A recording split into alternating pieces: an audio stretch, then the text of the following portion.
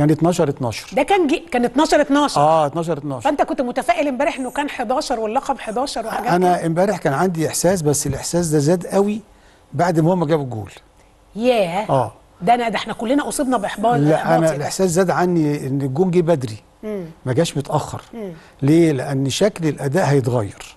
لأن إحنا آه، في حاجة كانت موجودة أثرت في الناس كلها سواء بالسلب أو الإيجاب بالنسبة لنا إحنا بالسلب وبالنسبة للمغاربة كانت بالإيجاب إن الماتش محتاج جون واحد. فهم جابوا الجول بعد نص ساعة.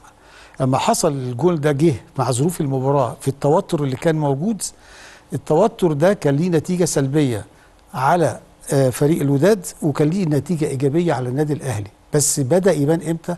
بعد الهدف. التحول ده بدأ يبان بعد الهدف. إزاي؟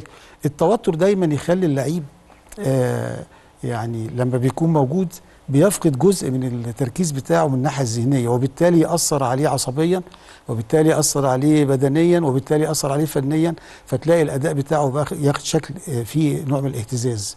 ما فيهوش توازن. آه، اللي حصل إن المغرب اطمنت بعد ما جابت الجول أو الوداد اطمن بعد ما جاب الجول فقال خلاص المباراة خلصت بالمنظر ده. لعيبه النادي الأهلي مش كده. لعيبه النادي الأهلي بتبتدي بدأت تستعيد التوازن بتاعها خلال العشر دقائق اللي فاضلة من الشوط الأول.